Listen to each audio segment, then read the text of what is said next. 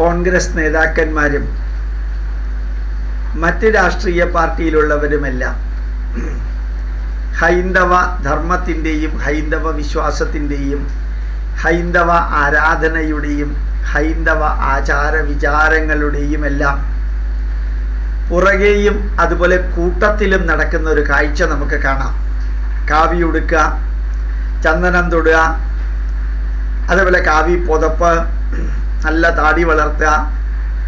നമ്മുടെ രമേശ് ചെന്നിത്തല പോലും കുങ്കുമം ചാർത്തിയിട്ട് കാവി ഷോൾ ഇട്ടുകൊണ്ടാണ് ഗുജറാത്തിൽ പ്രസംഗിച്ചത്.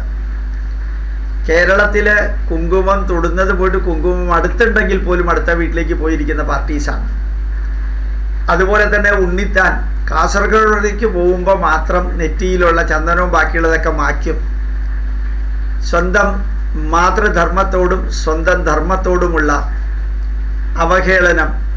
ഒരു കസേരയിൽ ഇരിക്കാൻ വേണ്ടി എം എൽ എ ആവാൻ വേണ്ടി വോട്ട് ബാങ്ക് ചൂഷണം ചെയ്യാൻ വേണ്ടി ചെയ്യുന്ന കർമ്മങ്ങളാണ് ഇതൊക്കെ നമുക്കെല്ലാം കാണാൻ സാധിക്കും. പണ്ട് സവർക്കർ പറഞ്ഞതുപോലെ ഹിന്ദു ഹിന്ദുവായിട്ട് അഭിമാനത്തോടു കൂടി തല ഉയർത്തി നിന്ന് ഇന്ന് ഞാൻ ഹിന്ദുവാണെന്ന് പറയുന്നു അന്ന് എല്ലാവരും മാറും. ഗംഗയിൽ കുളിക്കുക ഗംഗാ പൂജ നടത്തുക ഇതൊക്കെ ചെയ്തത് നമുക്കറിയാം പ്രിയങ്കാ ഗാന്ധി ചെയ്തതാണ്. എല്ലാം നെറ്റിയിൽ ചന്ദനം കുങ്കുമം തലയിൽ പൂവ് എല്ലാം.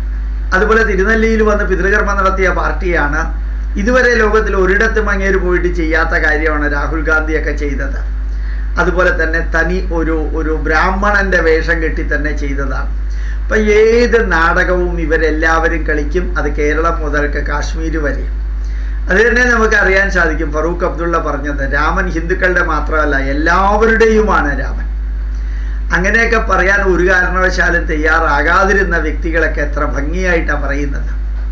ഈ ഒരു മാറ്റം പോലെയാണ്. ഇന്നലെ ആമിർ ഖാൻ എന്തോ പണ്ട് തന്നെ പറഞ്ഞിരുന്നു ഭാരതത്തിൽ ജനിക്കുന്നത് തന്നെ അപകടമാണെന്നോ? എന്തൊക്കെയോ പറഞ്ഞിരുന്നു. അദ്ദേഹത്തിന്റെ പല സിനിമകളുമെല്ലാം ജനങ്ങൾ ബോയ്ക്കോട്ട് ചെയ്തിരുന്നു ബോളിവുഡിൽ ഒരു തകർച്ചയുടെ വക്കത്തിലേക്ക് അദ്ദേഹം എത്തിയതാണ്. ചങ്കൂറ്റത്തോടുകൂടി ഇതൊക്കെ അഭിമുഖീകരിക്കുമെന്ന് പറഞ്ഞു എങ്കിലും അവസാനം തകർച്ചയുടെ വക്കത്തിലേക്ക് എത്തിയപ്പോഴത്തേക്കും മാപ്പു പറഞ്ഞു ഏതായാലും ആമിർ ഖാൻ എന്ന സിനിമാ നടൻ ഇന്നലെ ഒരു കലശപൂജ നടത്തുന്നത് കണ്ടു. നല്ല ഗംഭീരമായിട്ടുള്ള കലശപൂജ. രണ്ട് കാര്യമാണ് ഇതിൽ നിന്ന് മനസ്സിലാക്കാനുള്ളത്. ഹിന്ദു ഹിന്ദുവായിട്ട് തല ഉയർത്തി നിന്ന് അഭിമാനത്തോടുകൂടി ഈ ഭാരതം ഒരു ഹിന്ദു രാഷ്ട്രമാക്കുക തന്നെ ചെയ്യും. അതിൽ ഏത് നടപടിക്കും മുമ്പോട്ട് പോകാൻ ഞങ്ങൾ സന്നദ്ധരാണ് എന്ന് പറയുകയും പ്രവർത്തിക്കുകയും കാണിക്കുകയും ചെയ്യുന്ന മന്ത്രിമാരും പ്രധാനമന്ത്രിമാരും അവർ നിരന്തരം ഇത് പറയുമ്പോൾ മതേതരത്വം എന്നുള്ളത് പറഞ്ഞും പ്രവർത്തിച്ചും ഇരുന്നവർക്ക് ഒരക്ഷരം മിണ്ടാൻ പറ്റണില്ല. സ്യൂഡോ മതേതരത്വം. അതും കയ്യിൽ വെച്ചുകൊണ്ടിരുന്നവർക്ക് ഒന്നും പറയാൻ പറ്റണില്ല. അപ്പോൾ പിന്നെ എന്താ ചെയ്യുക first people will insult you second people will oppose you third people will accept you എന്ന മൂന്നാമത്തെ ലെവലിലാണ് ഇപ്പം എല്ലാ കാര്യങ്ങളും നിൽക്കുന്നത്. അപ്പോൾ ആമിർ ഖാനെ കൊണ്ട് കലശപൂജ നടത്തിച്ചതിന് ധാരാളം ട്രോളിങ് വരുന്നുണ്ട്. മുസ്ലിങ്ങൾ ശക്തമായിട്ട് നെഗറ്റീവായിട്ട് പ്രതികരിക്കുന്നുമുണ്ട്. ഹിന്ദുക്കളാണെങ്കിൽ കാര്യമായിട്ട് അതിനെക്കുറിച്ചിട്ടൊന്നും പറയുന്നുമില്ല. എല്ലാവരും അവസാനം ഇതേ ലെവലിലേക്ക് വരും എന്നുള്ള കാഷ്വൽ കമന്റുകളാണ് ഇതിൽ ആമിർ ഖാൻ എത്ര ഭംഗിയായിട്ടാണ് കലശപൂജ നടത്തുന്നത് എന്നുള്ളതാണ് അതിന്റെ പ്രത്യേകത. നല്ല ഒരു ബ്രഹ്മജ്ഞാനി ആയിട്ടുള്ള വേദപണ്ഡിതൻ ഈ കലശപൂജ നടത്തുകയും അമ്പലത്തിൽ ചെല്ലുകയും അവിടെ തൊഴുകയും അവിടെ പ്രാർത്ഥിക്കുകയും അവിടെ ഇരിക്കുകയും അല്പസമയം ധ്യാനിക്കുകയും പ്രസാദം വാങ്ങിക്കുകയും ദക്ഷിണ കൊടുക്കുകയും ഒക്കെ ചെയ്യുന്നത് നമ്മൾ നിരന്തരം കണ്ടിട്ടുണ്ട്. പക്ഷെ കലശപൂജ എന്ന് പറഞ്ഞാൽ അങ്ങനെയല്ല അതൊരു വളരെ സീരിയസ് ആയിട്ടുള്ള വലിയൊരു സിസ്റ്റമാണ് വലിയൊരു അനുഷ്ഠാനമാണ് അത് ശരിക്കും. അതാ വെറും ആചാരമല്ല. ആസ്ട്രേലിയൻ പ്രധാനമന്ത്രി സ്വാമിനാരായണ ക്ഷേത്രത്തിലേക്ക് പോയ മാതിരി അല്ലാതെ. അത് വെറുതെ പോയി തൊഴുതു ഷൂസ് ഊരി വെക്കണം അത്ര മാത്രമേ ഉള്ളൂ ഇതങ്ങനെയല്ല കുത്തിയിരുന്ന് ചെയ്യണം. അദ്ദേഹത്തിന്റെ ആദ്യത്തെ ഭാര്യ ആരത്തി അവരും കൂടി ഉണ്ടായിരുന്നു. അപ്പോൾ ഭാര്യയും ഭർത്താവും കൂടി തന്നെയാണ് ഇതൊക്കെ ചെയ്തത്. എന്നാലോചിച്ച് നോക്കുക. എത്ര ഗംഭീരമായിട്ടുള്ള മാറ്റങ്ങളാണ്.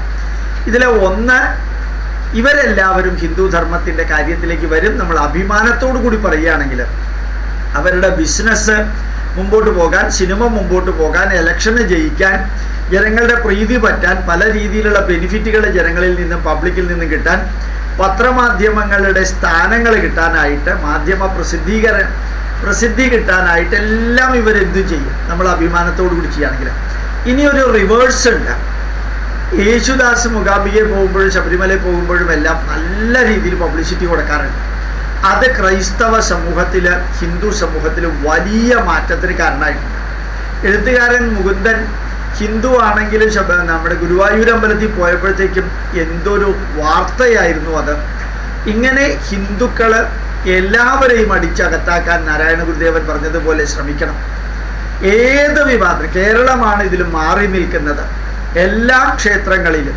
ഞങ്ങൾക്ക് ആരാധനയുണ്ട് വിശ്വാസമുണ്ട്. അത് എഴുതി തരുന്ന ഒപ്പിട്ട് ശീൽ വെച്ച് കൊടുക്കുമെന്നും വേണ്ട.